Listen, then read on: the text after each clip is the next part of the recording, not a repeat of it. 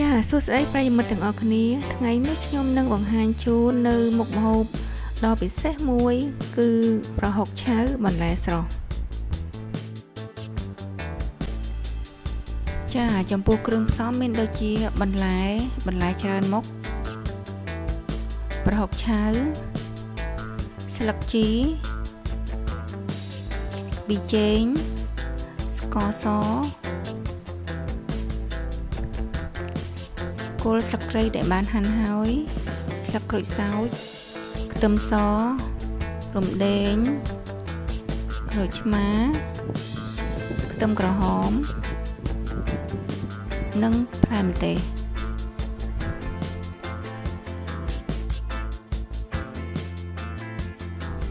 ចាឥឡូវយើងចាប់ដើមធ្វើតែម្ដង ដំបូងយើងយកប្រហុកមកចិញ្ច្រាំវាឲ្យម៉ត់ប្រហុកនេះគឺខ្ញុំយកប្រហុកសាច់វាងាយស្រួលចិញ្ច្រាំ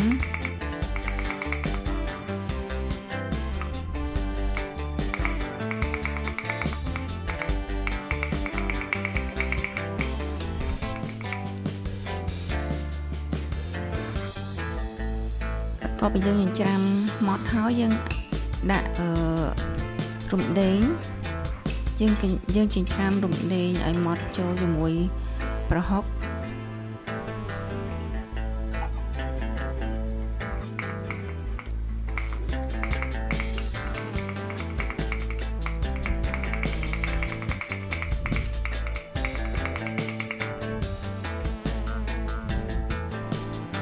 បន្តមកយើងដាក់ស្លឹក ក្រូចសើចហើយនឹងមើមខ្ទឹមសយើងចិញ្ច្រាំលាយបញ្ចូលគ្នាឲ្យម៉ត់ទៅ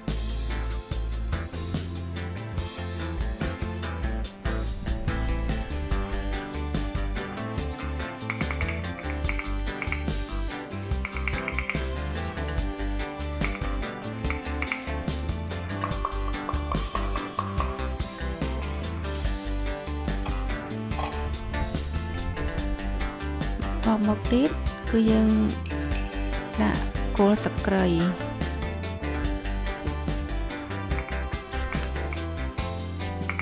ចាចំពោះគ្រឿងផ្សំបងប្អូនអាចដាក់ទៅតាមតម្រូវការរបស់បងប្អូន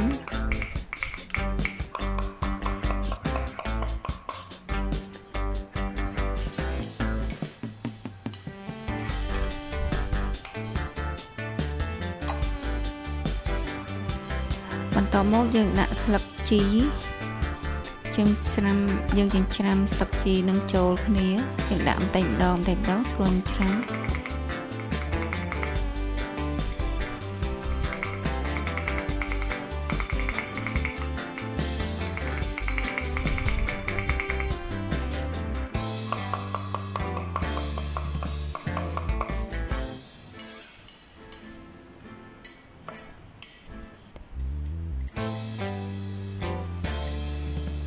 ហើយយើងដាក់អឺ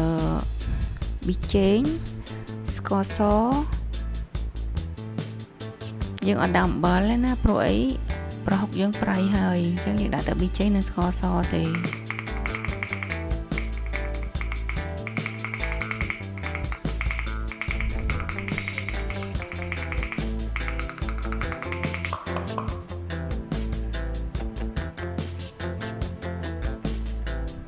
បន្ទាប់មកយើងដាក់ម្ទេស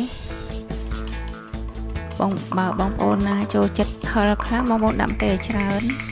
ដើម្បីកាត់ចម្អាបប្រហុកយើងនឹងផង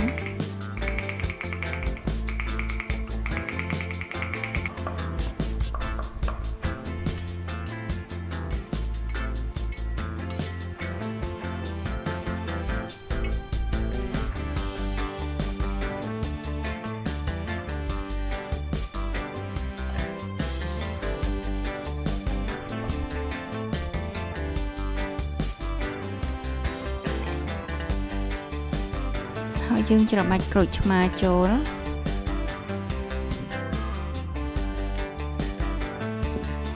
យើងច្របាច់ក្រូចឆ្មាឲ្យច្រើនវាទីមទីឲ្យជូរជូរហឹរប្រៃផ្អែមបើបងប្អូនណាចូលចិត្តហឹរបងប្អូនដាក់ម្ទេសឲ្យច្រើន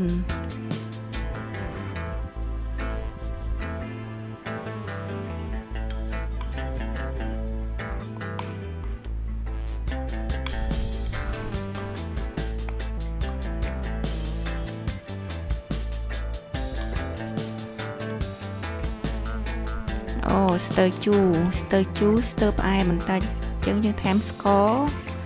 យើងថែមក្រូចឆ្មាបន្ថែមទៀត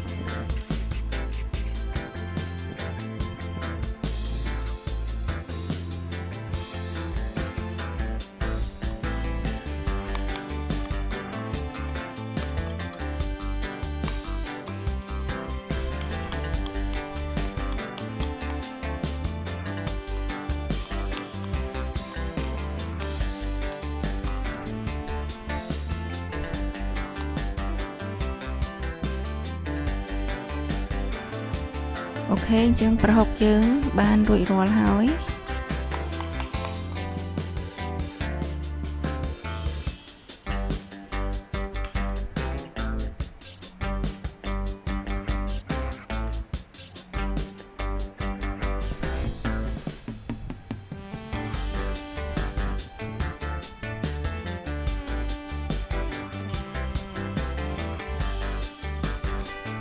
យើងបន្ថែមខ្ទឹមក្រហមពីលើបន្តិចទៅហើយនឹងម្ទេស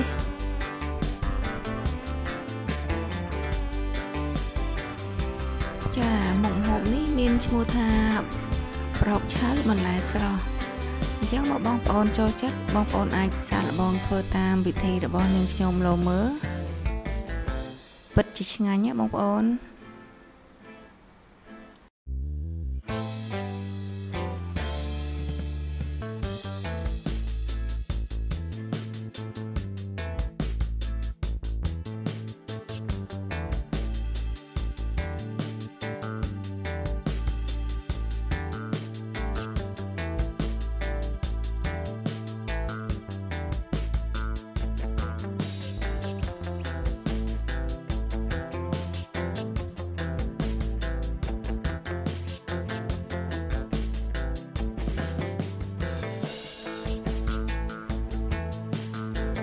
ចាសូមអរគុណសូមបងប្អូនជួយចុច Subscribe Like និង Share ដើម្បីទទួលបានវីដេអូថ្មីៗបន្ថែមទៀត